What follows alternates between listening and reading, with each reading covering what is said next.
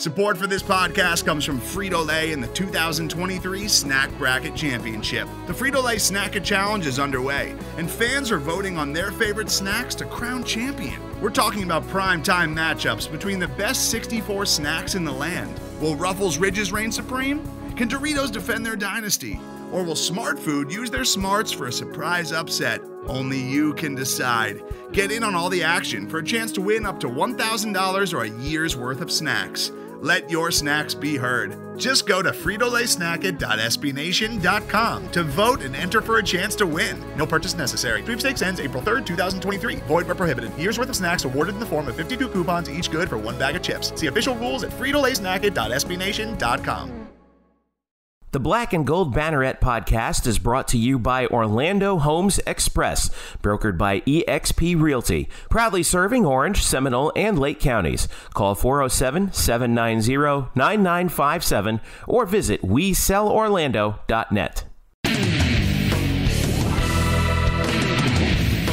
Welcome to the Black and Gold Banneret podcast. Jeff Sharon, Eric Lopez, and Brian Murphy with you here on this uh, late February evening. It's uh, we're we're feeling the the very end of basketball season, and the spring sports are really getting into full track now. So, uh, lots to talk about here on the show. Baseball is underway, softball is well underway, basketball is winding down. We got a lot to talk about on this week's show. Blackandgoldbanneret.com. We are SB Nation's home for UCF sports. Uh, you can reach out to us at UCF underscore banneret, facebook.com slash black and gold Banneret as well. Brian Murphy is here. Brian, how's it going? I know you're happy about baseball season starting up. Oh my God! You know we talked we we've talked about Manny Machado and Bryce Harper a few times at the end of our shows in recent weeks. And now we only have to talk about one of them. yeah, right. Well, we could still talk about Machado because that's what I'm going to do right now. Uh, you know, we, we uh, I thought that maybe oh, it would be a bit of a letdown when he signed because we've been waiting so long for it that if he signed, it'd be like, oh, finally he signed. But given that he got 300 mil still, and it went to the Padres, oh, I'm so excited. It's just so awesome to see like a different, a new player has entered the arena, and he, he still got his major money. Like it's just so exciting. And we got we got a live spring training game starting tomorrow at the A's and Mariners. And if you don't think oh, I'm gonna. Boy if you think I'm gonna miss that, now I'm no. now I'm really now I'm now I'm ready to just start over. Nice uh, job, Jeff, setting them up on that. Yeah, Whoa. Eric, I'm forbidding. Oh, wait, we weren't that far off. Remember what the bet was? Do you think one of them would sign before first pitch of UCF Siena? Well, it turns out it was first before first pitch of UCF and Stetson. So. Yeah, yeah. I mean, I, actually, I did say uh, that I didn't. That I didn't think either one of them would sign until March, and now I'd be surprised if Harper isn't locked up before March. Uh, so yeah, we'll see. Eric, tune, tune, in tune in next week to the Black and Gold podcast. where I talk about Bryce Harper signing with the Phillies. Eric, I hate to break this to you, but uh, Murph took all of your time that I was going to allot to you to talk about the elimination chamber. Uh, from Houston uh, a few days ago, but let's uh, let's dive into an actual different type of elimination chamber, and that is UCF men's basketball's final six games here uh, we're recording this Solid on Wednesday. Night. Yes, that's. I'm actually really proud of myself about that segue. Um, so last six games here, and it's probably the most brutal six games uh, in the country for any team uh, that we're looking at. Taylor Young is going to join us a little bit later to break things down so far to this point in the season and look ahead to these last six games. But you know, we talked about how um, in this new net ranking the quadrant one wins, right? Those are what you got to have. UCF is 0 2 in the quadrant in quadrant one games so far, but four of their final six are quadrant one games. You talk about Houston, Temple, and then now Cincinnati twice, and the first of which is Thursday night, 7 p.m. on ESPN two at Cincinnati in Fifth Third Arena against Mick Cronin and uh, and Cronin's cronies and all those guys, and a Cincinnati team that right now, as we speak is one game ahead of UCF in the loss column in the American standings. Obviously, uh, Houston's number one. They only have one loss the whole year. That was the Temple. But uh, obviously, the magnitude of this game does not.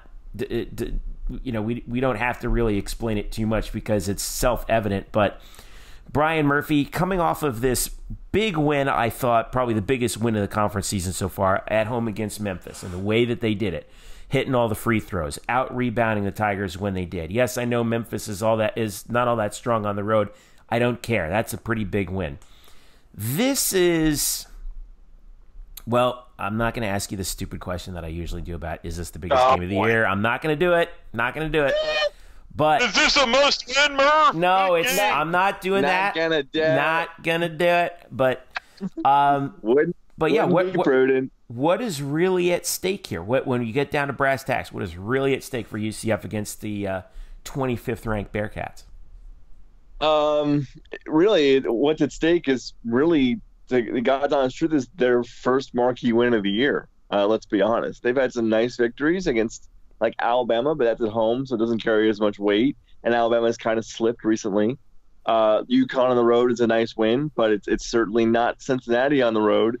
And and these are the kind of games that UCF uh, has to win. I mean, that's what that, that's what this means. This means that UCF gets to pick up some victories that they frankly just don't have right now on their resume. And uh, the players are aware of this. BJ Taylor talked to him yesterday or two, on Tuesday, and he brought up the fact how big this game is for uh, for UCF's resume.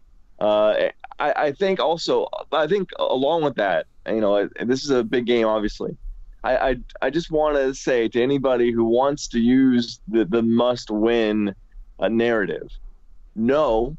Uh, I'm not doing it. It's not me. Go ahead.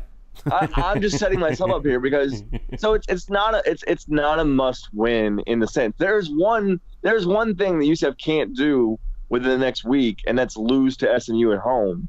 Uh, that's a can't lose game. Uh, if if UCF loses to Cincinnati on Thursday, I think what what that does more than anything it turns the home game versus Cincinnati on March 7th into a must win. Now you must win that game against Cincinnati on your home court, which would still be a quadrant one win and a pretty solid one at that. Um, if you win this game tomorrow or Thursday, uh, it, it kind of, I guess you could say, for lack of a better term, it gives you more breathing room. Um, even though you don't want to look at it that way, but it's not a must win, but it would be by far their most impressive and uh, weighty win of the season. Not even close. Well, they're standing pat in the net right now at 40.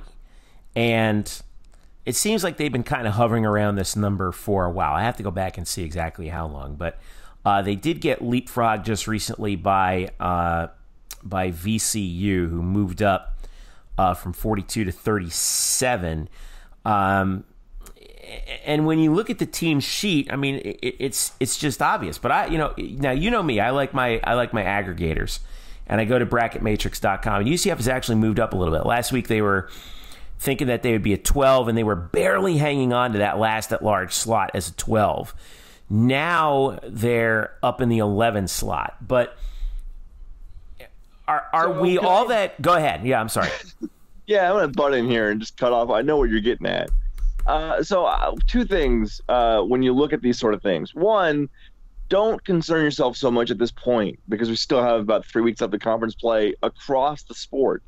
Don't concern yourself so much with like what are teams on the bubble also doing that could help UCF or not help not hurt like it hurts UCF or help UCF. Like Florida beats LSU tonight in LSU. Uh, oh, that hurts UCF because Florida's right there on the bubble with UCF. So probably maybe maybe they maybe they bump over UCF in somebody's rankings. There's so many. There's still there's still so much to be played don't pay attention to any bubble talk until the conference tournament week. Before then, well, that's no fun. Come on, yeah, don't take that away from me. Come on, man. It's there's there's too there's there's too many. I know you all are having so much fun with this. There's too many variables to track to make that a, a, a, a substantive discussion. Secondly, if you look at UCF and say like, well, this team has this this guy has them in as, as like one of the first four, one of the first, last four in, and and they're they're going to Dayton or they're one of the last five in, are great. Even in the conference tournament week, if they're like one of the last four in in most of the brackets, you I can't say this enough. That is an is an awful position to be in because it forces you it, it, it forces you to win knowing that at least three to four bids will be stolen across the sport. It happens every year. About an average of 3.6 bids are stolen uh, in conference tournaments every year. So if you're one of the last four in during conference tournament week, you're probably not getting in the tournament because your spot is going to be taken by someone who's not being considered for the bracket but is going to win their bid through the conference tournament. So again, UCF is so far away from any discussion I'd like to have about their bubble or their bracket sitting. Like it, there's too many there's too many games left, and there's too many teams out there, especially once they get to the conference tournament, that could make it all meaningless. Eric, that's no fun. Can you please justify my desire to, yeah, my, remember, justify my desire to mash the panic button? Out on, we have con- me and Jeff's got we got content coming out about the bubble. So I just I yeah. just bashed our own content. Yeah, yeah. Thanks, for, thanks for um, thanks for undercutting my my my things that I was going to write. Anyway, go ahead. Whatever. Here, here, here's where I will meet Murph halfway on all that. I don't think this Cincinnati game is as big as we think. I actually think Murph made a point in a weird way. The SMU home game is bigger because I agree with Murph. That is, you cannot lose that game because what's going on with teams that are quote on the bubble right now, and we saw this Tuesday night. Teams are losing games left and right. Alabama lost to A and M, uh, which is a terrible loss for them. Indiana lost at Purdue. They're now a 500 team. They're a mess. Uh, other bubble teams, in Arkansas lost recently. I mean, bubble teams are there for a reason because they're losing games and they're losing games that they shouldn't be losing to. And I think the thing that we're, we're so focused on the marquee wins and what UCF doesn't have, I kind of compare UCF right now to a golfer. That golfer that's going to take the layup on a par five. He's just not going to go for the green and two like others are. They're going to go for the par. And what you want to make sure is you get at least a par here and don't bogey the hole. And I think that's where UCF is right now. Obviously, if you beat Cincinnati, it's a huge signature win but they have other opportunities for that. They have a home game against Cincinnati. They have a road game against Houston. I actually think the Temple game on the road is a huge game because that is a potential team that you're going head to head with from a bubble standpoint. Not to mention yeah. you have opportunities in the conference tournament. So I actually think the SMU game in a weird way is a bigger game because let's say they did beat Cincinnati, but then you lose to SMU at home, you almost cancel that out anyway. And right. a bad loss, I think, punishes you more. It keeps you out of the tournament uh, more than actually winning games. It's weird as it sounds, but that's why teams are in the bubble. And you know this, Jeff, as a Syracuse guy. Syracuse in the past has been knocked out of uh, the NCAA tournament because usually they have a bad loss or two that uh, knocked them out of the tournament late in the year, lost early in the conference tournament. So there's a lot of variations. A bad loss is almost worse than having a quality win because they can negate, they can knock you out based on that. So uh, I actually agree with Murph. I think the SMU game, in a weird way, is bigger because you cannot avoid to lose uh, that game. Whereas Cincinnati is obviously a, would be great from a signature standpoint, but if you lose that game, it's not the end of the world because you still have other at bats with uh, uh, birdie opportunities. If you go with the golf theory, hmm. with Cincinnati at home later in the year, Temple's a big game, and then of course Houston. Well, possibly I, US, possibly USF too if right. they win a couple of games. Yeah, that's the game I was going to bring up. That's that's starting to look real because that's a road game at the I was going to say the Sun Dome, the Yuengling Center. Stupid. Well, they're also but, at, they're also at Houston at Temple. Right, right, right. But I, but I feel like you can you know you can you can argue you know well we're supposed to if you lose those games well you're supposed to lose the the game at Houston because they're I mean they might be they might be a two seed. Um, the Cincinnati game at home is really kind of interesting, but that game at South Florida, and like you guys mentioned, the game at home against SMU in particular. I think that those are the ones that you gotta have on the you got you got to knock those out, and that's where the most pressure is going to be. Um, yeah. And plus, we know that we know that South Florida is going to want going to want to win that game real bad for obvious reasons that that we won't have to go into here. But um, but yeah, this is yeah, it, it's like we said before. We are going to find out in a hurry uh, what kind of team this is, and hopefully that you know we'll be able to see you know them peaking at the right time. I, you know, I, I don't know if we've seen this team play its best basketball yet. I don't think so personally, but um, but again, uh, I mean, I thought the USF game was pretty good. I mean, I thought that was the best defensive effort they've had all year. Defensively, yeah. they looked like the team two years ago and they had good streaks there with Memphis. Give Memphis credit; they made some great yeah, that, runs. That there. second that second half against Memphis, I thought was probably the most impressive stretch of basketball I think I've seen them play in terms of one half. That was probably yeah. the most impressive half I've seen of the year. But um, here's a question. Here's a question for both of you because I know we're going to get into this on the women's side because it's very fascinating. Would you rather be the men's team that has this tough schedule down the stretch, but have opportunities with Cincinnati, Houston, Temple, you know, to improve your resume, but at the risk of losing those games? Or would you rather be the women's team that's kind of in position to make the tournament, but has no quality games left? They're all winnable games. You can win those, but if you lose one of those games, it could potentially just crush you from a tournament standpoint. Which who would you rather be? No, you'd much rather be UCF. You'd much rather have a chance to Which win one? the hard. No, sorry, you're you're comparing UCF games. uh, the men's the men's team. You you'd want to have the opportunity to to not leave a doubt that you should be in by beating quality teams and you know with some recency bias as well late in the year. Yeah, I agree because you're going to make your case in these last six games no matter what.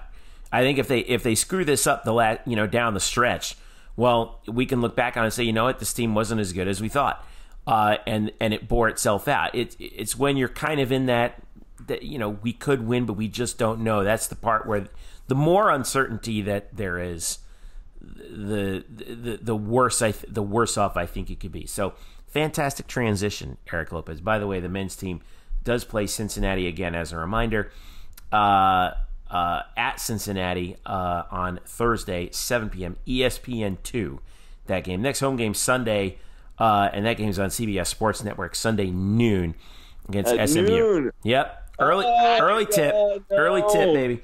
And uh, also, uh, don't forget to stay tuned to this podcast a little bit later. Taylor Young is going to join us to talk about uh, his his insight and perspective on UCF basketball right now. But speaking of teams that play good teams down the stretch, UCF women's basketball just did that, and uh, they played on Sunday at home against UConn. And uh, well, UConn is UConn, right? Uh, buddy of ours, Eric Lopez, used to always say Duke is Duke. Um, UConn is UConn. Uh, 78-41 was the final. Um, all right, now let's uh, let's go here for a minute, okay? Because it, it, it's easy for everybody to kind of look at UConn and be like, you know, man, like, uh, like, what are we even doing in the same? What is any team even doing in the same gym as them? But I wrote up on blackandgoldbanneret.com a couple one thing the other day. I was courtside for that game. Uh, I had a front row seat to. Oh, like you hear that, Murph? Courtside. Front row. Well, I do PA for the. I do PA for the for the game, so of course I'm Whoa, courtside. PA. Jack, you sure Jack Nicholson wasn't sitting next to you? I'm positive, unless Jack Nicholson's name was Dean Smith. Anyway, um, What? let's Carolina talk. head coach for the record, not the North Carolina. Not head the North coach. Carolina head coach, our buddy Dean Smith, who, Oh who, my run- God. who's, uh, who's who's one of the who's on the uh, uh, the official scorer staff. But all right, I decided himself. I, he is a legend. Um, I decided to write up the title of the article is "Let's talk about the good things from UCF women's basketball's game against UConn," and um, a- and actually, you know, going back and looking at it, there were a couple good things. All right, Katie Lou Samuelson, National Player of the Year candidate, uh, UConn's leading scorer. UCF held her scoreless from the field. She was 0 for 5 from the field. Perfect 12 for 12 at the line. More on that in a second.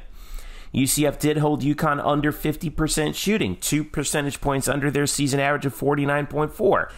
Um, now, UCF's uh, UCF did hold them under 40% in the first half, but in the second half, UConn turned it on. And if UCF was going to have any hope, they would have had to have held them under 40% as a team since when you hold UConn under 40% this year, they're 1 and 2. Uh, the foul shot advantage was 20 to 4 in favor of UConn. Um, not saying there's anything untoward about that, but I'm sure that will raise some eyebrows. Um, the Knights forced UConn into 21 turnovers. That's a season high for them. Uh, the Huskies forced UCF into 23 turnovers of their own. So you can't do that. You can't you can't hand it back to them like they did. Um, and the the loss did drop UCF in the RPI, but only three spots because, like I said, it's UConn, and UCF got some help from Temple beating Cincinnati. So right now, UCF is still alone in second place in the American, and they got four games to go, and they should wrap up the number two seed uh, in the conference tournament and be on the opposite side of the bracket if they take care of business. Um, I know you guys were were away, or were, or rather, Murph, you were at baseball watching the game, but Eric, you were watching the game on TV. This felt like UConn had a real mission to to kind of show UCF that look, we're the top dog around here, and and they took care of business. But am I being a little bit too Pollyanna-ish by looking at some of those things that UCF did well in that game? Well, first of all, we got to stop talking about Samuelson because, in my opinion, she's not even the best player on her team. Collier is the is the better player. I player of the year. Yeah, I, I, so, I, I, have to agree with you that I, I thought that Napheesa Collier was the best player on the floor. I, I really yeah. I, I, really did. Now, nothing against Katie Lou because she's freaking amazing in her own right, right? Like, what team wouldn't want to have a six three guard who can shoot like she can? But, Correct. Correct. But Napheesa Collier was the leading scorer in that game, and she was the best player on the floor. I thought. I found it interesting, and Geno Auriemma talked about it afterwards about UCF being, uh, you know, a chippy game, being physical. Uh, I think Gino liked that. I think he liked the fact that his players were pushed around and how would they respond, things like that. And boy, they responded in the third quarter. He didn't sound um, like he um, liked it during the game. Yeah, right. He was pretty upset. Um, this is the this is the concern I have, and you're not going to beat UConn. I, I get all that. I was kind of hoping, Jeff, from a resume standpoint, they would have played a game like last year where they kept it, you know, and it sounds weird, but this is women's basketball we're dealing with when we talk about UConn. You know, last year UCF played them a low-scoring game, and it was about what was it, a 55-37 game. That was actually a pretty good result. I remember we had Charlie Creme on, uh, who's the Murph's favorite, the bracketologist in women's basketball, uh, and he said that that actually was one of the reasons why UCF was in the mix for the field last year because that actually was a quality uh, performance. It was a quality yeah. loss. Yes, yes, we've heard those, right? um, so the fact that this game got out of hand was not good because actually Charlie Creme in his latest bracketology uh, has UCF as one of the last four teams in. Like they're they dropped that far to one of the last four teams in, and one of the issues they have is because the conference is down this year, especially South Florida with all the injuries they have. Mm-hmm. Outside of UConn, if you pull off the miracle against UConn, there are no quality wins in the league right now. And that's the, issue UCF had. They won uh, Wednesday night against Wichita State on the road in a game they pulled away late. That was critical because Wichita State had an RPI of 249 going into the game. You lose that game, that would have been catastrophic. Uh, Murph, I would have actually grabbed Jeff's emergency panic button and used it myself if they would have lost to Wichita State. That's how bad that loss would have been. And you look at the remaining schedule. Tulane, 150 RPI, not great. Temple in the 140s, something like that. At Houston's not terrible. Houston's in the 90s RPI, but the Jeff, you could look at the resume. Their best win, I think, is Villanova at home in November, and that's the thing I'm nervous about for this team is you know they they don't have as much room to to to, to mistake here because if they get another ba- bad loss, which you know you could say, well, these teams are better than the RPI shows, and that's true. But mathematically, unfortunately, when teams look at the resume, they look at a temp a Tulane loss and they don't look at it as well. That's not they're they're not bad. No, it's a bad loss because they're 146 RPI. They got to win out here in the regular season and probably to be safe, get to the final uh, of the tournament because if you lose a game like that to a team like Tulane again or to Temple, now you could be sweating it out come selection Monday because let's be honest, we know where the automatic bid's going to go to. So, um, you know, that's to me the critical part here moving forward. And I think it was a good sign that they responded with the Wichita win in the second half after the UConn game.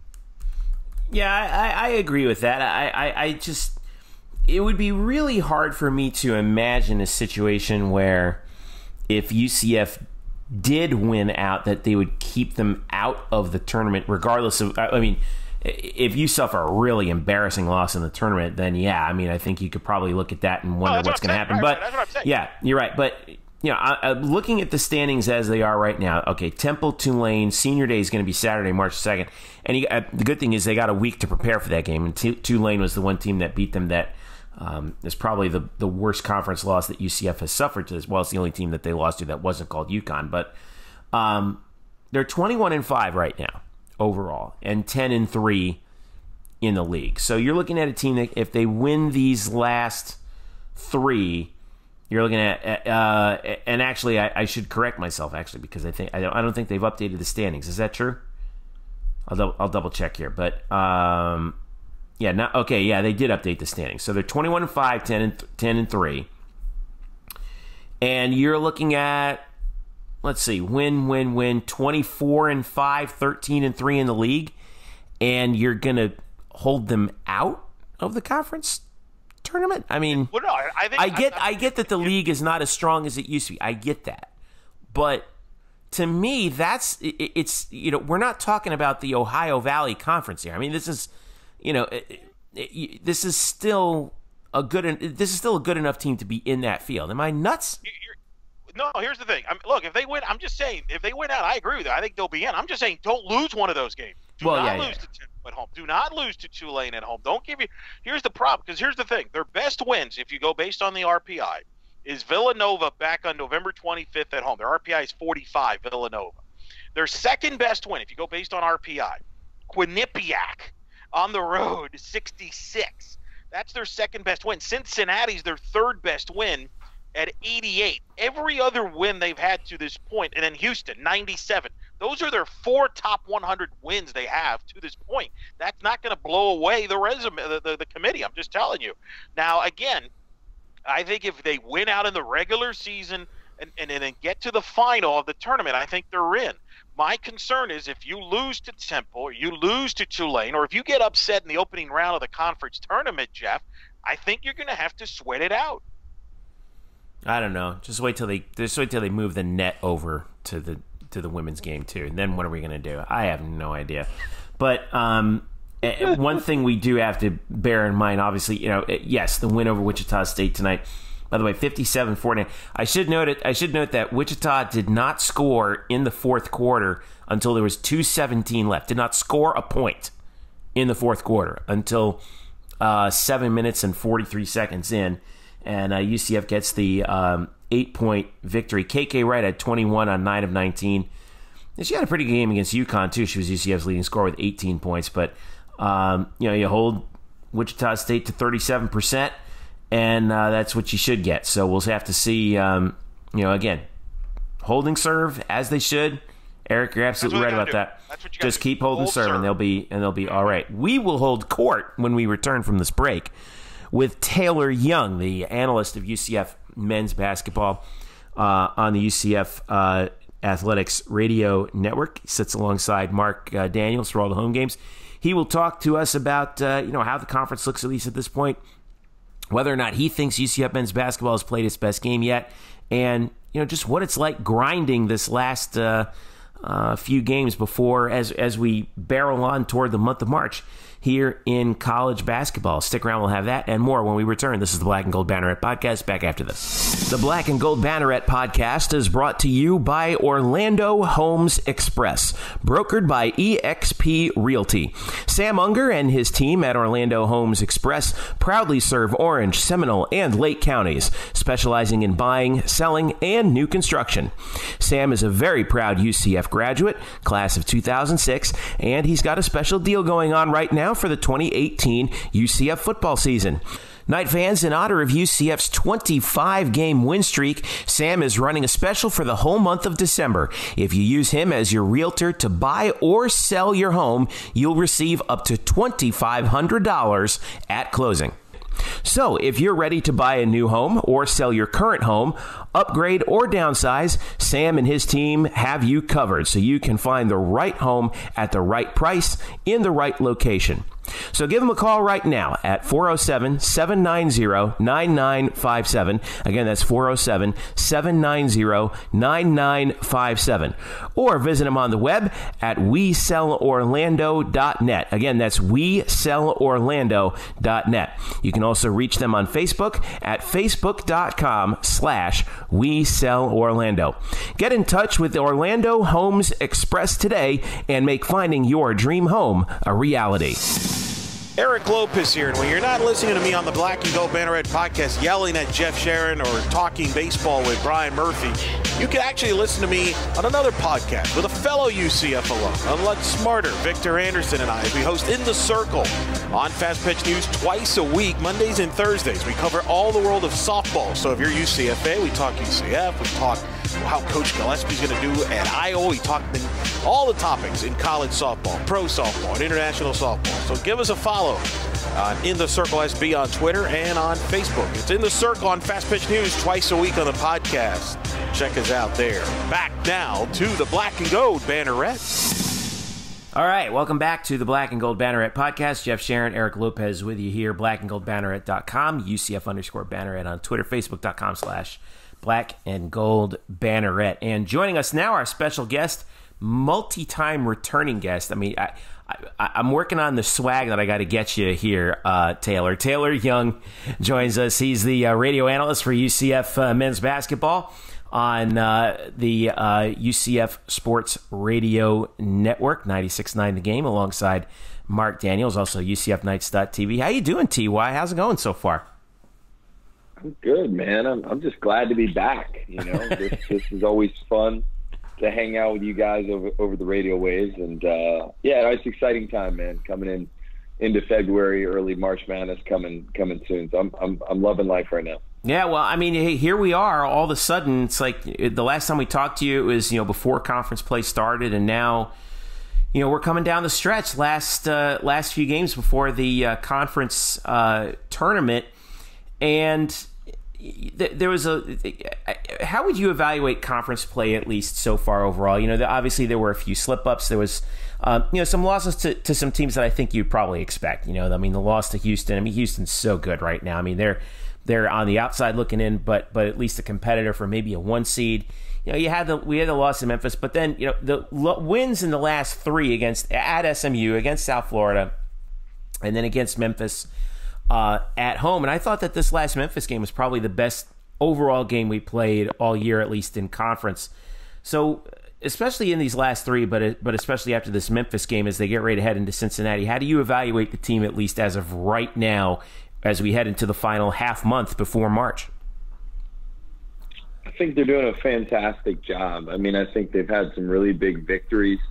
Um, I think they've had a few games that, they like to have back, but I think more than anything else, what they've done, um, for the most part, is protect home court.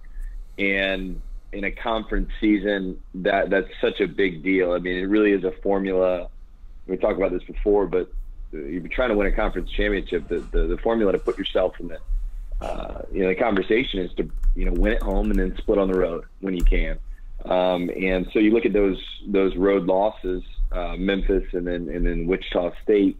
Um, you know, Wichita State's a team you can't figure out. It seems like they're talented, but they've had a down year, lost a lot of guys, but a really, really, really tough venue to play in at a 10 p.m. Eastern tip time. So God, that was weird. Kind of an odd.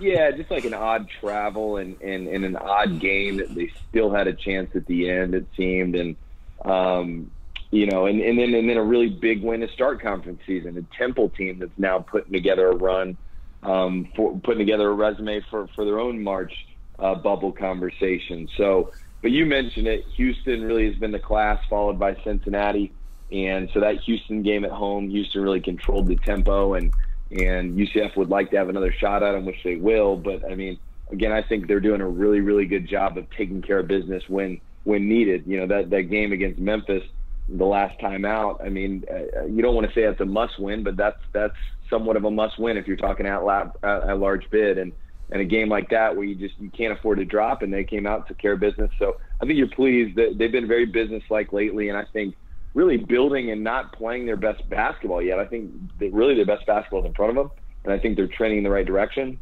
And I think that's saying a lot given the resume they've put together so far, and and I think the exceptional season they've had. Taylor, the, as we get down to the stretch here of these games, it looked to me like Taco Fall and BJ, the seniors in particular, have raised their game to a different level. I think Taco has played tremendous at a high level the last few games. I mean, as a player, as you get down the stretch in the season, do you kind of sense that that maybe sometimes, especially maybe a senior, knowing this could be their last run here, they raise their game here down the stretch because these games get bigger and bigger as we go down the stretch here, with possibly with all the makings of trying to make the NCAA tournament and conference championships at stake. You certainly think so, right, Eric? I mean, the word that comes to mind for, for those seniors and the guys that have been around uh, is perspective, right? You, you're having a perspective that you're coming towards the end of your career. You're also having a perspective that you know how hard it is, you know, because over the years, four years, I mean, gosh, BJ's in his fifth year, and um, you know, you, you see the, the, the, the adversity and the shortfalls, and that it's there's no guarantee that you're going to have a chance at um, NCAA tournament play or postseason play every year. So I think as you get older, you gain a perspective that each game and each possession is more valuable than maybe you thought it was when you were a freshman or sophomore and your whole career was in front of you. So I think the best teams, when you look at historically, um, have their best players or most talented players bought in, leading, and playing well. And that's what I see with this UCF team, as you mentioned.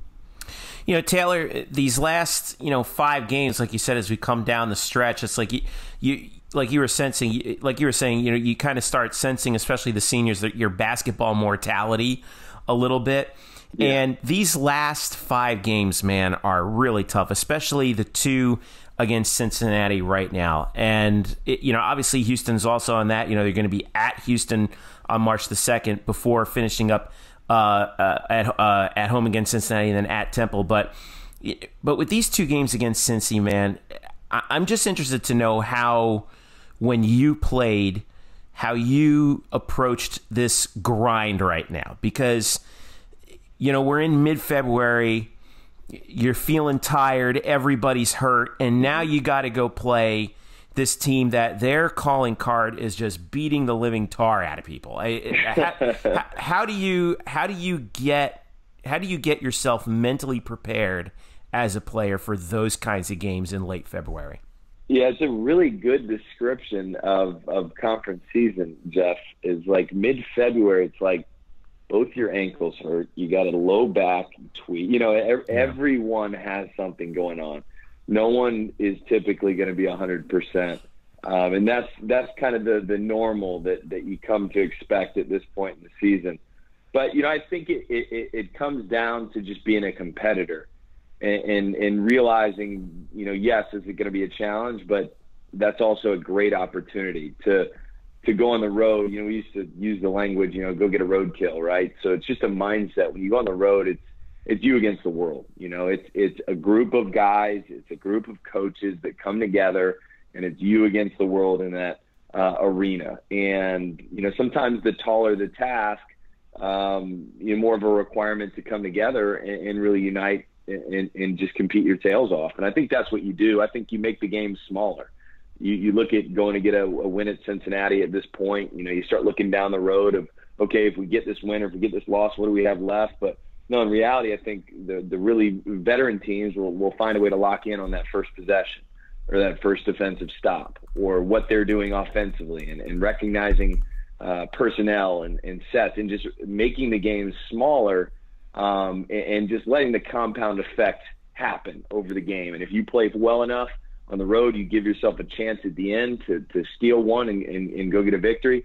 You know, I think that's what you look to do. And, and, you know, you talk about getting those guys ready. I mean, Coach Dawkins, if you watch him on the sidelines or you know anything about his playing career, and that guy is a hell of a competitor. So those guys follow that suit, and you can you can guarantee with the stakes as high as they are that that he'll have them ready to compete. Taylor, what's been your thoughts on Houston, who you saw up close in person, and what a year they're having under Kelvin Sampson? Uh, with only the you know the one lost in Temple, and then Cincinnati, who UCF obviously plays. Mick Cronin. Some people thought maybe they have a drop off after last year, winning the, the conference regular season and tournament title, losing the some of the veterans they did. But you got guys like Cumberland, who's kind of stepped up, might be the front runner for Player of the Year. What's your thoughts on Houston and Cincinnati? Uh, kind of seeing them from afar and up close. You know, they're just really good programs and really, really good coaching staff. Um, you know, those head guys are doing incredible jobs. Kelvin Sampson, um, a guy probably be up for, for coach of the year, given what he's done with, with, with Houston. Um, but what's really cool about what you mentioned is, you know, you have Houston who lost Rob Gray, their leading scorer and playmaker last year, and you have Cincinnati over the last few years lose lose players like Troy Caupain and and and different guys, uh, Jacob Evans, you know, different guys that were their lead guys and now they're still elite among the conference. And so I think when you see that, it kind of goes to show, you know, how they're developing their younger players, uh, you know, how they're getting their guys to buy in and play hard, and just building programs in the American that you know year after year have a chance to compete for championships. So um, they've been kind of the class of the conference over the last couple years, with Wichita State uh, being a new member. Um, that added a lot of value, and I think if you're UCF, you're you're trending towards that and that's that's the fun part about college basketball is you got a lot of new guys each year. You have guys graduate each year, and you kind of refill and replace and, and hope to build upon a program. Taylor Young joining us here on the Black and Gold Banneret podcast. All right.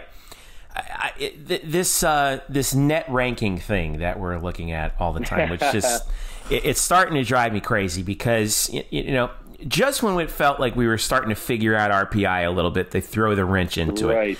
Do, what are your thoughts on on this new ranking system in, in terms of you know where is it rewarding teams like UCF properly in your opinion? I have no idea what it is. No, I'm kidding. It, you know, it, it is it is funny, and, and as fans, like you get the sense that we're never going to be happy regardless. Um, but it's always worth a conversation, whether it be college football um, or, or, college basketball. Um, so I don't know, but I, I know teams like UCF. Here, here's what I will say, you know, because because certainly you can get into quadrant one wins and 2 mm-hmm. wins and all that stuff, and and and and some of that stuff you get into the weeds a little bit. But one thing about college basketball that I think is worthy of talking about that's changed since I played, especially, um, but just continues to get like this is the, the exposure that teams like UCF get. Yeah. Um, you know, going to the American from Conference USA is, is, is was a big jump, but even more so. I mean, every game is on ESPN streaming. Every game, I mean, the Cincinnati game, I think it's ESPN two.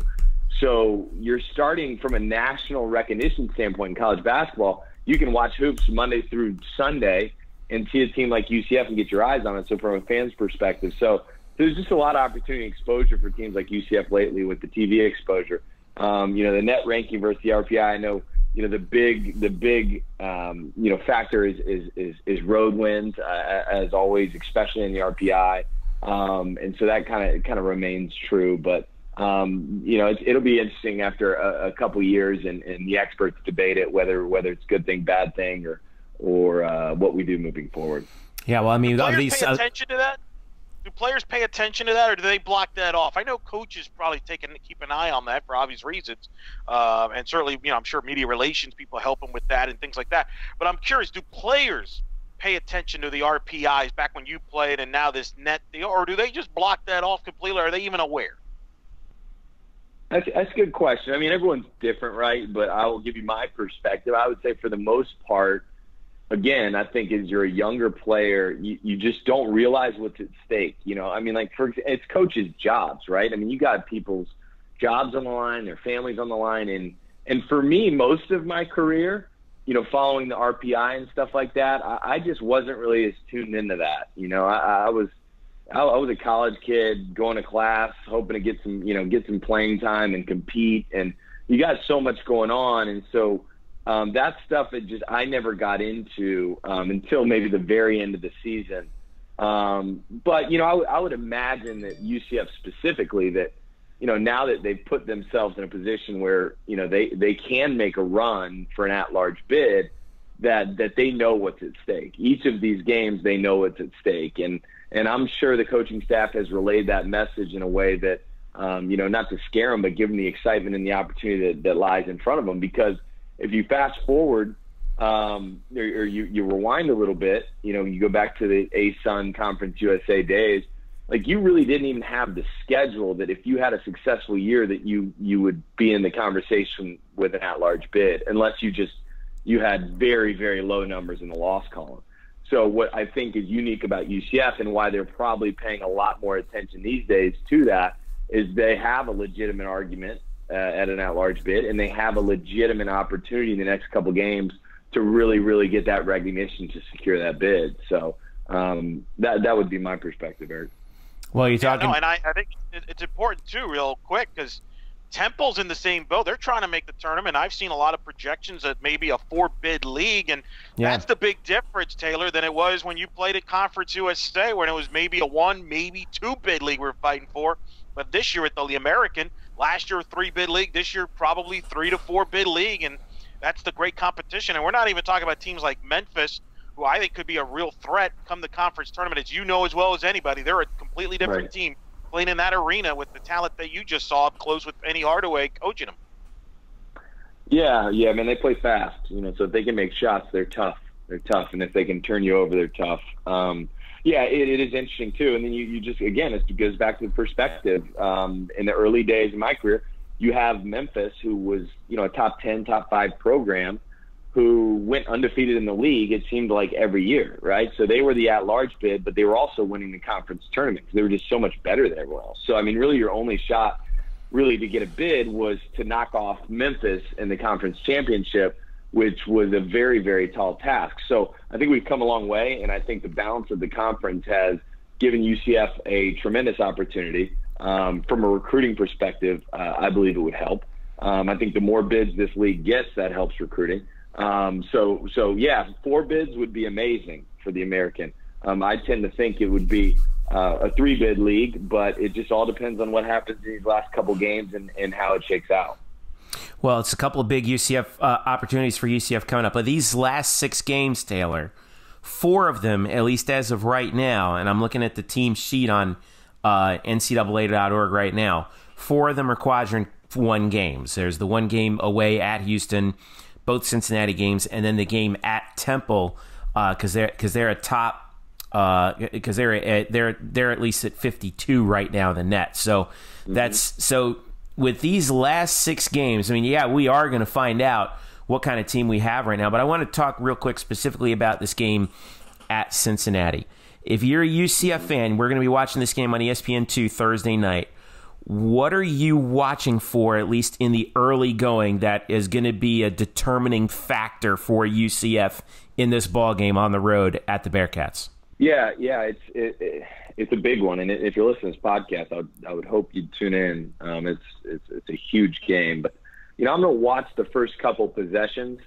Uh, I'm going to watch watch the attitude. I'm going to I'm going to watch the, the the, the toughness meter. You know, I'm going to watch you know those first couple blockouts, those first couple defensive possessions to see you know are are are, are they walking in that building with with a mentality to to kill and and and and and take a Bearcat home with them back to, to Orlando. you know, and and yeah.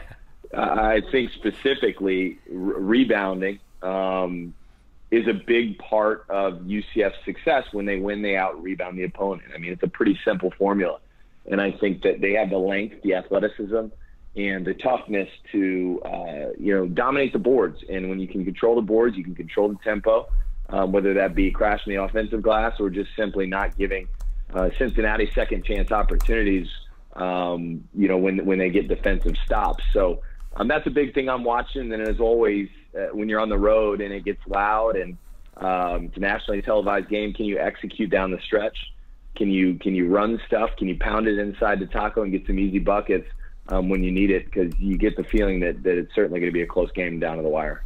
Yeah, I mean, you mentioned the rebounding. We were talking about it right before we came on about how you know, this year, you know, I went back and I looked at uh, the offensive and defensive rebounding percentages from two years ago, which was Taco's last full year because he was hurt last year, of course. But uh, the uh, la- uh, two years ago, they were, you know, at least in the top. I think they were top twenty in offensive rebound percentage. I think top fifty in um, in defensive rebounding percentage. But now this year it, they they've re- UCF has kind of struggled on the offense uh, on on the on the rebounding percentage. Do you what have you seen that you know could be a reason for that, or or, or do you th- and do you think that they might be turning a corner here because they did they did out rebound Memphis in the game that we saw uh, earlier, really turned that one around from the game they played on the road. Yeah, it's it's you know they have like we mentioned they have the talent, the length, the athleticism. So, so it's it's I don't think it's anything to do with that. I, I think it's just being you know the the intention of of knowing how important it is. Mm-hmm. and I think it's all it's all five guys. And so, especially when you play in a, you know, you play against people that shoot a lot of threes. So you know, long shots usually equal long rebounds. So you, you get out rebound and you say, hey, come on, big man, where, where were you on that one? And it's like really, it's a lot of it can be the guards. You know, it can be one through five. You know, checking your guy and then and then pursuing the basketball um, because a lot of those those rebounds that come down to really 50-50 loose balls where where you're you're scrambling to secure it. So um, I think to lock in and just know how important Coach Dawkins is traditionally since he's been at UCF and throughout his coaching career a, a defense and rebounding guy. And they have more offensive weapons this year than they have in a long time. And so it might be one of those, hey, mentality, let's get back to the basics let's get get back to being the first one to initiate contact on blockouts and then go pursue the basketball. And um, you know, I, I think you look at some odd games uh, throughout the year. I think the FAU game is one that sticks out. Um, I believe they really, really crushed us on the boards. Yeah. And they really had no business. And so you look at a stat like that, and it really uh, is a loss we'd like to have back. But um, I think at this point in the season, they've they've learned how important that is, and and uh, and I'm sure it's been drilled into him by the coaching staff. Taylor Young joining us here uh, on the Black and Gold Banneret podcast. This huge game against Cincinnati coming up. It's Thursday night, uh, 7 p.m. It'll be on ESPN2. And there will be, uh, let's see, that's the first of these final six. Two of them against the Bearcats. We got one more against South Florida, one more against Houston, at Houston, one more at Temple. And uh, this is going to be big. I know the next time we're going to hear you on the air is for that SMU game on the 24th. Is that right? Yeah, a little noon noon tip, a little brunch tip on Sunday, and so yeah, man, I can't I can't imagine a lot of teams in the in the country have what UCF has in front of them, um, and, and just a tremendous opportunity and challenge, and and like you said, it we'll, we'll learn a lot in the next couple weeks, and and uh, uh, about this squad for sure. It's going to be fun. Thanks for uh, bringing us along on the ride, Taylor Young. Ty, real quick, uh, how can fans reach out to you? Yeah, you know, I'm I'm I'm, I'm on Twitter, Taylor B Young, um, but you know, I'm not as active as I probably I'm not as active as you guys, man. I, I, I, just I like I like to retweet your stuff, so um, you know. But yeah, I mean, if if anybody's interested, always welcome to reach out, um, direct message me or, or hit me up, and, and we can connect. But uh, yeah, I'm, I'm I'm just excited that, that that this time in UCF's basketball history, I just think it's a, a, a huge year and a year that we'll remember. So um, I'm, I'm just I'm having a blast, man. May even have a cocktail watching the game Thursday. It's a big one. All right, Ty. Thanks for joining us. We'll catch you again soon. All right. All right. See you guys. All right. Thanks again to Ty for joining us. Uh, Taylor B Young on Twitter. I just I, I'm, I'm I always feel so much smarter talking to him after this because you know he he breaks down the insight for us, Eric, and uh, and and gives us exactly what we really need to know. So uh, make sure you listen to with UCF's next uh, home game as well once they get back from Cincinnati. All right, let's get out of basketball for a little bit and let's talk about the Diamonds. Let's talk about baseball and softball because UCF baseball is underway. We had Greg Lovelady on our podcast previewing the season uh, last week and uh, UCF baseball is off to a, an expected start. They are four and zero. Oh. They swept Siena in three to start the season, uh, and then they got a uh, blowout win over Stetson at home uh, on Tuesday night. So. Um, now, it, it, there was, to be fair, a little bit of nail biting in the opener. Uh, three two walk off win for UCF, um, and then five to one and seven to one on Saturday and Sunday. Murph, you were there for all of the festivities. Um, I, I, I remember I sent out a, a tweet saying, you know, uh, as uh, UCF and Siena were tied late on Friday night and opening night, that uh, this seems like a good good time to remind everyone that UCF is 54 and four all time against against I almost said Stetson against Siena. Um, now, well, now they're 57 and four, obviously. But uh, what did we learn, if anything, from these first four games? Um, well, uh, we learned that there are some guys that we probably should pay attention to. You know that you know we talked about Griffin Bernardo and Dalton Wingo offensively. Uh, you know with with with Coach Lovelady, and uh, you know I've written about him and and we've talked about them just w- between ourselves, but they really showed up. Certainly against that series against Siena. Uh, Griffin, uh, Bernardo, and Wingo combined, they go 10 for 22, um, and and look like guys who you know we heard all all preseason that they were gonna, they were going to need to step up in their sophomore seasons. Both of them were kind of scared to fail as freshmen, and they needed to really uh, put their big boy pants on. And at least for one weekend, they certainly did that. And it looks like they're going to be um, pretty crucial cogs in the middle of that lineup. Secondly, you know, Lovelady said the strength of this team is its bullpen, which is pretty amazing considering that this is a team that just last year had J.J. Montgomery and Thad Ward and Bryce Tucker and Eric Heppel uh, and Kareem Finfrock coming out of the pen at different times. Those guys are all gone. They have a lot of new faces in that pen. And then over the first four games, uh, that bullpen has given up, I believe, two runs and eight hits in 17 innings. Um, not bad. You know, it's it's not it's not bad. Uh, Jeffrey ha- Jeffrey Hagginson looks good. Kyle Kemp, Zach Hes- Zach Helsel's gotten a lot of work early. Um, so that bullpen looks pretty good. The starting rotation is we're waiting to see. Grant Sherman, the uh, the the grad transfer from uh, Furman, you know, was was a solid first start on Friday night. I think Trevor Holloway and Jordan Spicer were okay. Certainly room for improvement from both of them there. But there's not much to gauge when you're playing Siena. And even Stetson now, 0 4 uh, after last year's super regional team, 0 4 to start this year. There's something wrong there. Uh, and so I don't know if UCF's gotten a really good test so far, and they're but they're going to get one this weekend against Auburn. I'm surprised you didn't you you, were, you didn't mention Chandler Robertson because he's actually uh, leading the team in hitting. You know, he's six of 13 uh, to start out and slugging 462. Um, They're all singles. Yeah, but hey, I mean, it's you know. It, what does he do? Very he nice. What does he do? He gets on base. but uh, but uh, yeah, I mean, I, yeah, I think that the the overall sense, like you said, is like you know, well, what did we learn? Well, we didn't really learn much because everybody did basically what they were supposed to do. I mean, uh, you know, you're supposed to win these games at least outright, and we may look back on the Stetson game in particular and be like, well, of course they were supposed to actually do that. But um, as we look at the schedule coming up, and this is the part that I I was particularly interesting. Are, are there any chances that you see with this uh, with, with, these upcoming games where we are going to learn something? Because you obviously you do have Auburn, you know, coming in this weekend with that Friday, Saturday, Sunday, and then you have that Wednesday against Florida.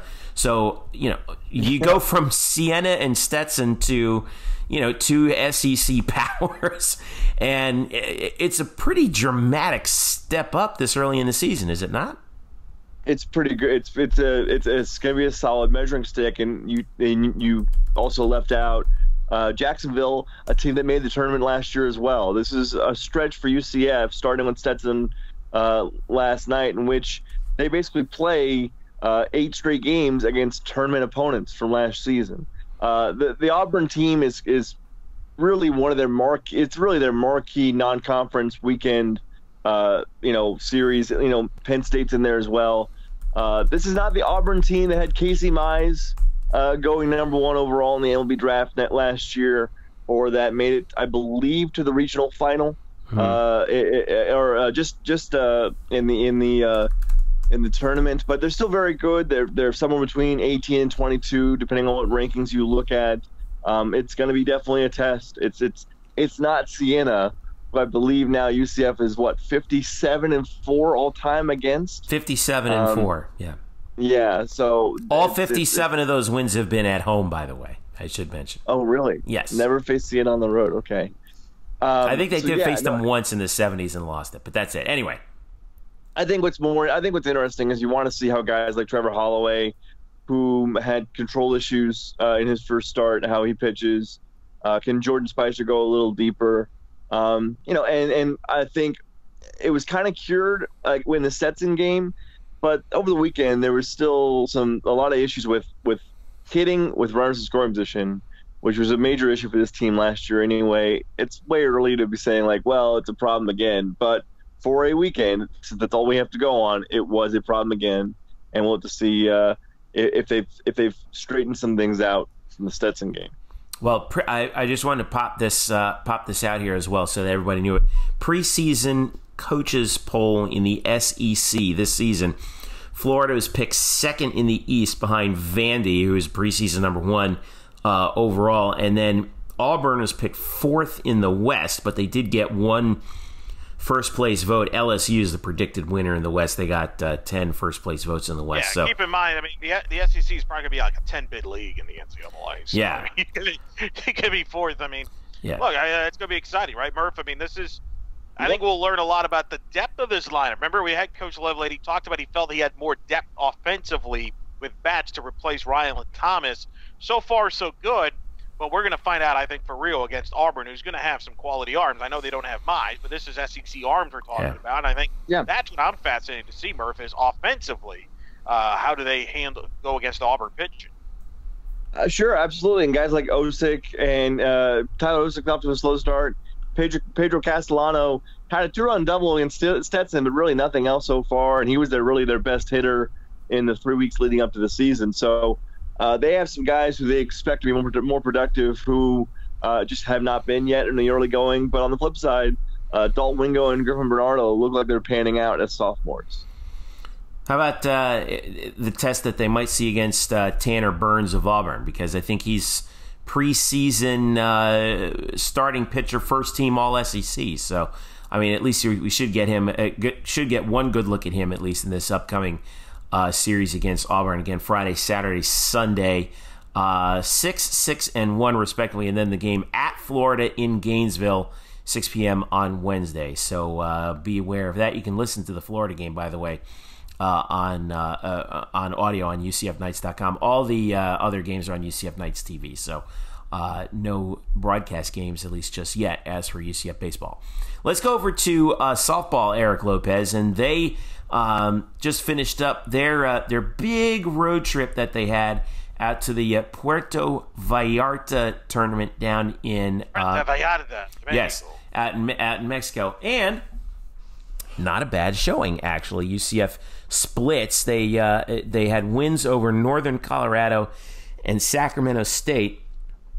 Lost to number five Washington and number twenty five Mississippi State, the two ranked teams that they played. But um, from what you were able to glean from the uh, from the action in that tournament, obviously we saw some of the social media posts that the players had. Beautiful, beautiful setting for uh, playing some softball down there at uh, down there on the western coast of Mexico. But um, what did we learn in terms of the softball from this team? Because uh, right now their overall record is four and four um, as they come back home for the Knights Classic, and probably have a few games that they that you probably would want to pencil in.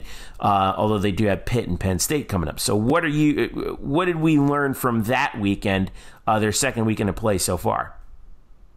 I think we learned, uh, Jeffrey, that UCF's got a, a, strong number two pitcher. Uh, that hasn't been the case the last couple years, as you've seen up close. Oh yeah, the young freshman Brianna Vasquez, who's really a nice phenom, back-to-back shutouts. I know it's George Mason and Northern Colorado where she got the shutout. She was honored on the all-tournament team up in Mexico, but you know UCF has struggled to get consistent pitching behind Aaliyah White in the last during in the last two years, and I think they've got one with Vasquez. And the thing that I jumps out at me 18 strikeouts and 18 innings pitched so far this year for Vasquez. Hit, swing, and miss. Uh, I think that is something that is huge. I think she's a great compliment to Aaliyah, who's more about contact, doesn't strike as many out. Uh, Vasquez is a kid that uh, her personal pitching coach was Toni Paisley, that for all the, the longtime softball fans was a former three-time USA Pitcher of the Year at East Carolina, was a thorn in UCF side, beat them for the 2010 Conference USA Championship. Uh, I think she's legit, and and that's the thing that's exciting. Plus, you got this other freshman, Alicia Tomberlin, who I think is going to find her way into the lineup, who can hit. So, uh, I like some of the new faces, and it's not surprising. You know, this was a class that I know that the even the previous staff liked uh, coming in, and I think the new staff likes as well. Uh, and, and adding some depth that they haven't had the last couple of years. I think it's still a work in progress team. I think they're still uh, adjusting to a new philosophy offensively, so it's kind of been hit and miss. But um, you know, it's it, it's about what I thought for and four. I think they would have liked to have played better. They kind of played a, at a higher level, but again, it's early, and I don't, you know, teams don't peak this early. So I think they're working out to their kinks, and uh, it's so early in the year. It was a tough start to the schedule when you considered you're playing Ole Miss, you're playing Minnesota, you're playing Ohio State, playing Washington, you're playing Mississippi State. That's five NCAA tournament teams right there, and they got to win against Ohio State. So uh, now they'll be home for a little bit, and uh, I think it's about the growth of this team and, and the growth of the belief and, and, and to what they're doing and try to get better each day. I know it's cliche, but I think when you have a coaching transition, that's a part of it. Are you concerned about the offense at all? Because I'm looking at the season stats right now. So yeah, uh, Tamisha Glover is uh, leading the team right now. She's 10 of 21. She's a 476 average. Jasmine Esparza is second on the team at, uh, among qualifiers, at least at 308. Uh, and then it goes down to 263, 235, 222. And you know, and I know that uh, that that Coach Ball had you know coached the number one hitting team in all of college softball last year at Boise State. Uh, is it growing pains that we're seeing in the adjustment to a new hitting philosophy, or is it just the fact that the competition they play has just been really good? That you know that UCF right now is hitting 257 as a team, while opponents are hitting 294. I think it's yes. The answer is yes. Both. Okay. Uh, yeah. I, I do. Uh, you know, I think yes, they face great pitching. I mean, first of all, Washington, you know, they threw Taran Alvelo, who's one of the National Player of the Year candidates against UCF. Uh, Minnesota threw Fiser, who's a Big Ten Pitcher of the Year uh, candidate. Ole Miss threw their ace as well. Uh, so I, I, think it's part of it is they've seen some great pitching. The other part is yes, I think there is an adjustment with Coach Ball's offensive philosophy uh, and the players. So it reminds me a little bit, Jeff, of when Scott Frost got here. Remember that when we talked? How many episodes did we do about how this offense is just, you know, it's just it's not, you know, there's kind of some growing yeah. pains. It they weren't. You know, they didn't seem like, like, they were totally in sync. Right, you know, some pe- you know they're still trying to figure it out, and eventually they did. Uh, maybe the next year, but I don't think it'll be t- taking that long. But my point is, yeah, I think there's a bit of an, an adjustment. You're still learning this new philosophy. You're still trying to buy into it, um, and it's early. Uh, so yes, I think. Am I concerned? No, I, am not as concerned yet because I know hitters like Cassidy Brewer can hit. I know other players in that that haven't hit can hit. So it's early. I think we and, and Murph knows this with baseball. It's the same thing, right? We always over exaggerate early starts, right? Only in baseball and softball do we freak out if somebody goes two for 25, even though that player might go two for 25 in like middle of the year, but nobody notices. But because it's early in the year, we notice it.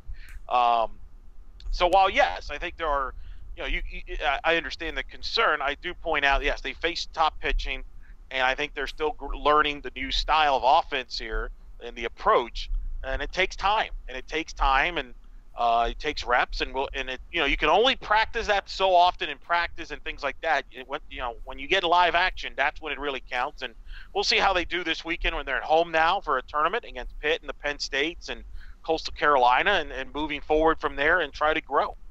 What do we know? Last question on softball. What do we know about the teams coming into town um, this weekend? Because you got Coastal Carolina on Friday and and Pitt. Chanticleers. Yeah, the Chanticleers and uh, and Pitt on Friday. Then Saturday you've got Penn State and Pitt again, followed by Sunday Louisiana. Uh, you got Sunday Louisiana Tech, and then they play La Tech again on Wednesday. So what do we know about these teams coming in?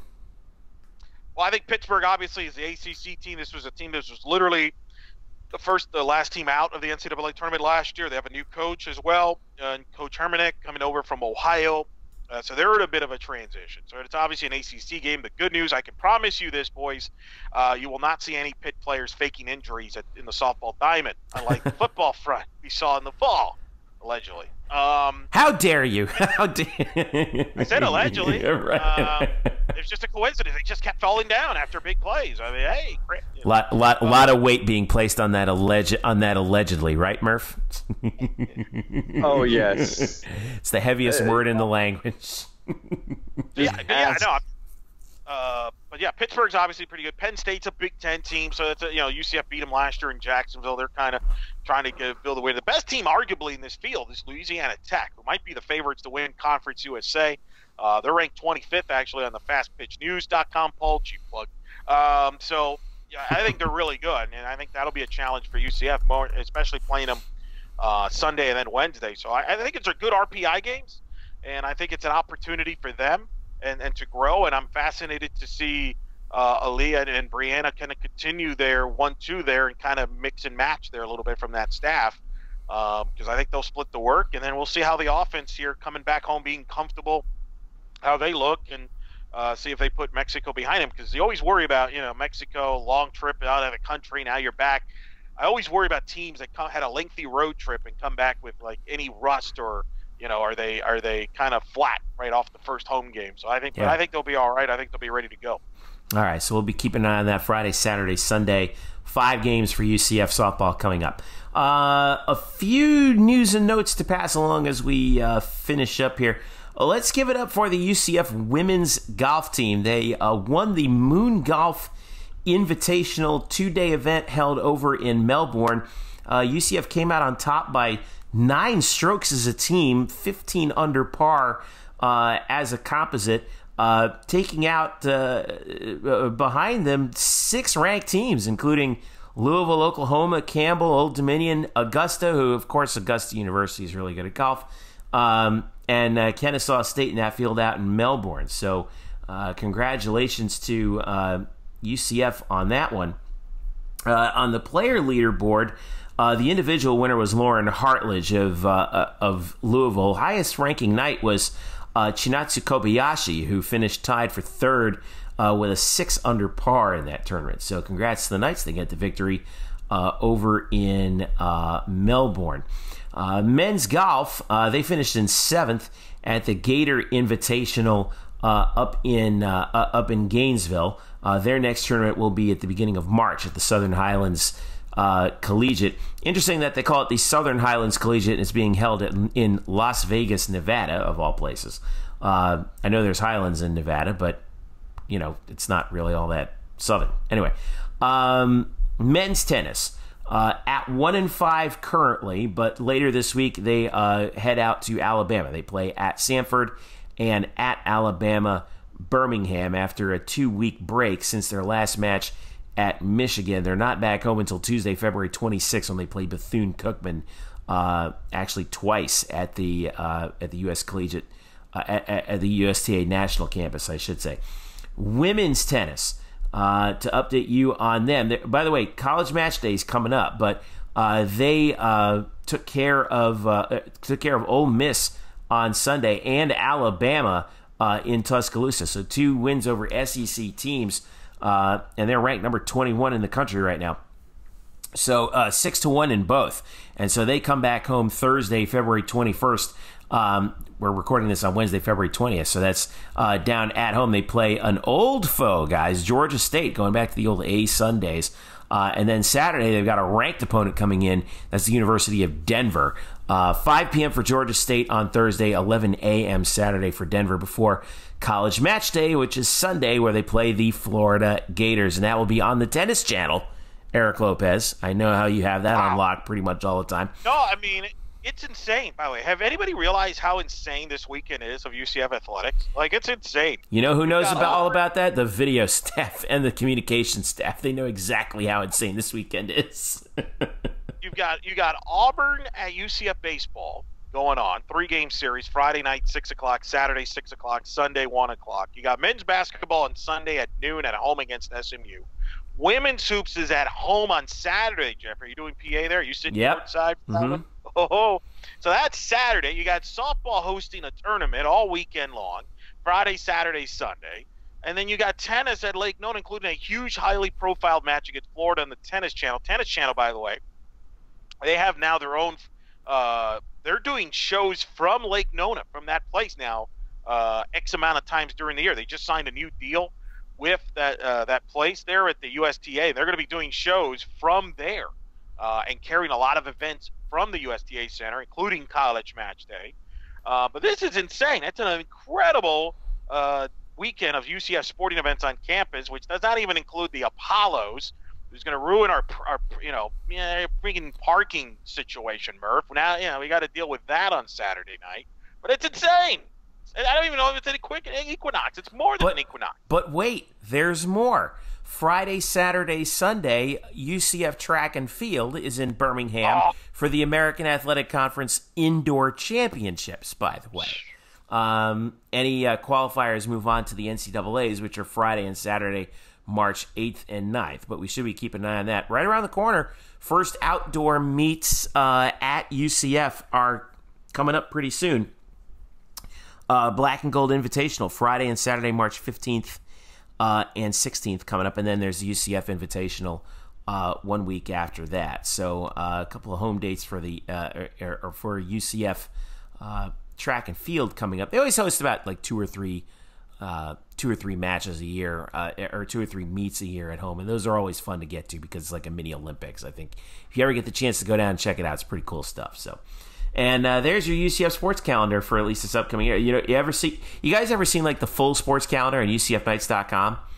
Like this this coming weekend, like that one week, this weekend coming up is like insanely long. Like there's there's all kinds of stuff going on that they have plugged into this thing. It's crazy. So uh, lots to keep track of. We will have plenty to catch up catch you up on on our show next uh, week. So let's talk about what we've got coming up uh, coming up next here uh, on Black and Gold Banneret. Uh, Murph, we'll start with you. Uh, what do you have coming up? Well, I know I'm gonna hate Sunday with a passion. I, I, just know that just straight off the bat, and just only because I'm gonna have to find a way to uh, write a good basketball story and then hopefully finish it in time where the baseball game isn't over yet. Head over to baseball and then talk to Greg Lovelady as if I've been in attendance for the full three hours of that game, um, because I have a story to write on that series right after that. Um, you should go so up to him and be like, "Hey, coach, like, can you can you fill me in on like what happened?" So yeah, like, yeah. So so what, coach? Um, quickly, what happened? That'd be my question? Uh, we talked about resumes and like, would you rather have this really hard schedule down the stretch or a bunch of like cupcake teams down the stretch? I just want to like, it, there's a, another good comparison that I wanted to quickly point out. It's with Temple who, you know, depending on what brackets you look at, they're right there in the bubble as well, uh, right there behind UCF in the conference. They have five games left, and they have one quad one game left. That'd be at Memphis. Otherwise, though, home to Tulsa, home to Tulane, yo, and at UConn, at UConn, and then home to UCF. So at you know Tulsa home game is a quad four, and then you have one quad one quad one game against Memphis. The rest are decent quad two games. For UCF though, six games left. Uh, I, I, believe that five. I believe like five of them, four or five are quad one games, and then the SMU game is a quad. I believe a quad three. Uh, you would much rather be UCF in this situation. Both teams are on the bubble, but UCF really has a chance to play itself in with quality wins. Whereas really uh, Temple just has a bunch of can't lose opportunities, but they probably those win those wins if they get them probably don't carry enough weight uh, to where they you know they probably need to win two games in the tournament in the conference tournament to really bypass some teams on the bubble because their late season schedule just isn't hefty enough. So the moral of the story is: is every game is this a must-win game? Must win? No, I don't moral, know. But the moral, the moral, of the story is you much to have UCF schedule down the stretch because it allows you to play yourself in to the tournament. If UCF goes four and two over these next six, and that includes a win against SMU because you can't lose that game. If they go four and two over these last six and then win one game in the tournament, I, I can't see a way unless there's a a, a, a cavalcade of bubble teams that just that just run winning streaks and a bunch of uh, teams that steal bids elsewhere. Uh, four and two, win a game in the conference tournament, they're probably in the tournament in the NCAA tournament. Eh, no pressure. Eric, what do you got? wow. Um, I got to figure out what the heck I am doing this week. I'm supposed to. I want to go check out Auburn UCF. Uh, Saturday is tricky because I got uh, you got softball going on and baseball and women's basketball all within a very similar race. Sunday, I agree with Murph. You got men's hoops at noon, softball's two thirty, baseball's in one. I don't know how I'm going to be able to be at all three. Meanwhile, I got to hope I keep beating down Murph on our pick to click baseball game that we're oh, personally man. playing in. Because I'm on fire, Jeffrey. I am beating. I am beating up. Wait, wait, wait, wait, wait. Guru. What is this? Pick to right. click? We've got, we're gambling now. This is very uh, this is very this is, illegal. This is what we do now. Uh, this is we're, we're, we're, how did I how did I miss the boat on this? We've got bounties on players' heads. Oh, great! We're like Greg. No, we're like Greg.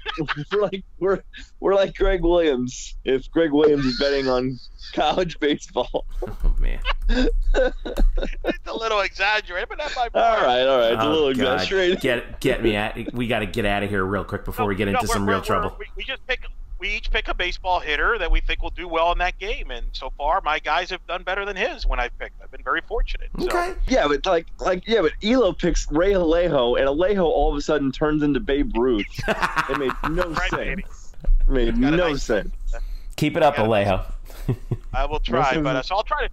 I will try to be at all those things at some point this weekend. Plus, on the banneret, I actually have written uh, some TV numbers. Are people watching UCF basketball? I have the answer for you. I have numbers. oh wow! Talking about a tease. oh man. I got numbers for men's and women's hoops, so uh, up there as well. So that'll be up on the banneret. All right, we'll take a look at that. I've got a I, I've got a little look at UCF's tournament chances myself, uh, using Bracket Yeah, Matrix, which is my new favorite site in the whole wide world. Uh, don't pay attention to what Murphy what, to what Murphy says because I'm just going to hit the panic button like outright. Like every game's one, a must-win situation. One, one note on, bra- on bracket matrix. Yes, define aggregate site those those those those rankings, the, the, brackets, yeah, they they they they rank them like bracket matrix actually ranks the quality of each uh, prognosticator. This is why, so, yes, yes, right. No, what I'm saying is though, if you see some best? really, if you see some really favorable ones, I believe it's Delphi uh, for for and for men's basketball, it's uh, D E L P H I. Uh, Warren Nolan's very good. There's a there's one that's called Pulse uh, which is a kid. I think his name is Pulsifer. Um, he does he does one. He, yeah. It's supposed to be very accurate. They do like three year averages on these things, but it just goes to show like make sure you know which which bracket like the quality of the bracket that you're looking at because I've seen UCF being seeded by like a nine seed or an eight seed. Yeah, don't know, and that, unfortunately that inflates their their average on the site. So they so they, it, you know it, it boosts. Yeah, but doesn't that even out with some people that have them out completely? So I kind of you know. Right, exactly. But make sure you know when you look at these things the actual quality of the bracket. Yes, Don't this take is that word for gospel. Those, so a lot of those brackets. Us. A lot of those brackets are just straight trash. Right, right. This is this is why I like it so much is because it does weight them based on who the most accurate bracket is. By the way, uh, Eric, your boy uh, Lunardi, you want to know what ranking he is out of the what is it, 127 uh, brackets that they have? Well, this is good. Is this? So are we going to use this to pick and pick who will be our guest bracketologist to bring on in a few weeks when we break this down? I mean, uh, I, yeah, why not? I would do it. Sure. All right, all right, all right. But but the, all right, give me the breakdown. Okay, breakdown, so yeah? so we, well, we just talked to you like who like the top five were. Your boy, your boy Lunardi. You want to know where he ranks out of the 127 different racket brackets? Go ahead. 68th. Yeah. But he's on. Mark, Marketing is outstanding, though. I know, I know. Yeah, Brad Evans of Yahoo, thirty third. So that gives you, the, yeah. And he's the brightest mind in fantasy football. Yeah, I know. There you go. Uh, Stewart Mandel by uh, Stewart Mandel from the Athletic, a guy who we know, uh, a guy who uh, we're very familiar with. He's 16th. He's actually pretty good. That's not too bad overall. So. Yeah. Uh, I'm going to be runner to reach out to. Yeah, I'm going to be I'm going to be linking to all this stuff, and yeah, and yes, our guy Warren Nolan is fourth, which is really impressive. Um, Warren's good, man. yeah, yeah. Warren knows. I don't know. I got to find that out. Jerry Palm. I believe. I believe, and I, and just so you, just so and just so we can follow that up, I believe Warren has either UCF on the 12 line or out as yeah. of right now. And by the way, like Jerry Jerry Palm of CBS uh, 82nd. So, ugh. Yeah, all right, good. Tell Brodsky that because I've been arguing with Brodsky about it. He was trying to defend Palm, and I'm like, Palm has no idea. Yeah. Get out of here. I'll have to, yeah, I'll have to send. I'll send this. Uh, I'll send this to Brodsky. But anyway, um, so that that'll give you an idea of what we're looking at at least as of uh, right now. All right, let's finish this thing up, guys. Thanks once again. Uh, be sure to follow us at blackandgoldbanneret.com. You can follow us each on Twitter. I am at Jeff underscore Sharon. Brian is at Spokes underscore Murphy. Eric is at Eric Lopez Elo. Uh, and you can follow us all collectively at UCF underscore Banneret on Twitter. Don't forget to follow all of our other guys as well. Jeremy Brenner, uh, Luke Saris at Luke Saris SBN. Uh, so much going on. I, have been following our uh, our guy Zach Goodall, who's got some really good NFL draft stuff that he's been looking at of late. Make sure you follow him um, is just a, an embarrassment of riches with us here at uh, Black and Gold Banneret. We're also at facebook.com slash Black and Gold Banneret. And subscribe to this podcast on Google Play, Apple Podcast, SoundCloud, Stitcher, and tune in. For Eric Lopez and Brian Murphy, I'm Jeff Sharon saying thank you so much for listening. This has been the Black and Gold Banneret podcast.